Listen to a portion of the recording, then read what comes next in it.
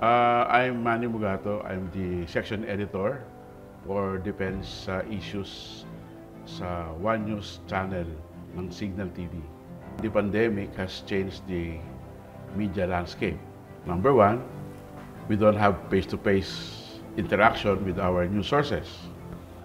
And uh, the news sources have hijacked the narrative by talking directly to people. The Filipinos are relying uh, on information from bloggers, social media content creators, and influencers. They do not trust the media. So, in a way, it has affected the credibility and uh, the public trust on uh, legacy media. So, we are in a credibility crisis, actually.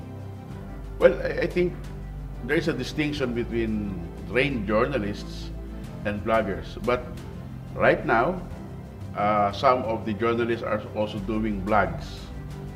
Uh, the difference is that journalists who do blogs are writing based on facts.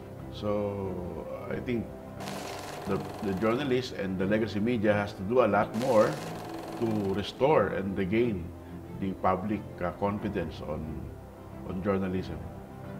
The next page uh, for journalism is to regain the trust and credibility that they lost during the pandemic.